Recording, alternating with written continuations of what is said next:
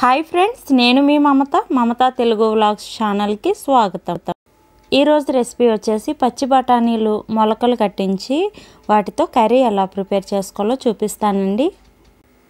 నేను ఇక్కడ పచ్చి బఠానీలను ఒకరోజు నానబెట్టేసి ఒక క్లాత్లో కట్టేస్తే మనకి మొలకలు వచ్చేస్తాయి అన్నమాట మూటలో కట్టాక ఒక రోజంతా ఉంచాలండి. అప్పుడే మనకి పెద్దగా మొలకలు వస్తాయి.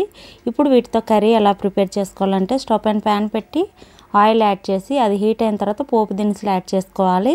అవి కొంచెంగా ఫ్రై అయిన తర్వాత రెండు మీడియం సైజ్ ఆనియన్స్ చిన్న చిన్న ముక్కలుగా కట్ చేసుకొని వేసుకోవాలి.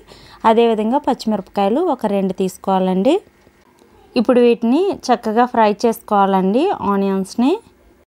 ఇవి కొంచెంగా ఫ్రై అయిన తర్వాత వీటిలోకి ములక్కాయలు యాడ్ చేస్తున్నానండి. ఒక మూడు ములక్కాయలు తీసుకొని చక్కగా క్లీన్ చేసుకొని కట్ చేసి వేసుకున్నాను.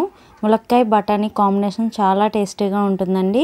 ఇప్పుడు వీటిని మూత పెట్టేసి చక్కగా మగ్గించేసుకోవాలి. ఇది మగ్గిలోపు ఒక చిన్న నిమ్మకాయ సైజ్ అంత చింతపండు నానబెట్టి పక్కన పెట్టుకోవాలి.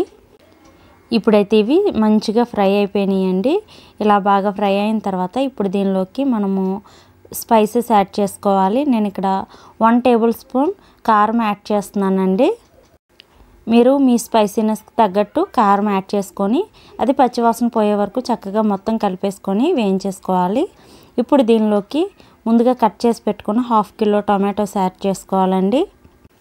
దీనిలోకి ఇప్పుడే మనము రుచికి సరిపడా ఉప్పు కూడా యాడ్ చేసేసుకుందాము. ముందుగా ఉప్పు యాడ్ చేసుకోవటం వల్ల టమాటాలు త్వరగా మగ్గుతాయి. ఇంకా ఉప్పు అన్నింటికి కూడా చక్కగా పడుతుంది. నేను ఇక్కడ కల్లుప్పు యాడ్ చేశానండి. కల్లుప్పు ఆరోగ్యానికి చాలా మంచిది. ఇప్పుడైతే మూత పెట్టేసుకొని మనము మగ్గించేసుకోవాలి. ఒక ఐదు నిమిషాల తర్వాత చక్కగా టమాటాలు అన్నీ కూడా మగ్గిపోయినాయండి.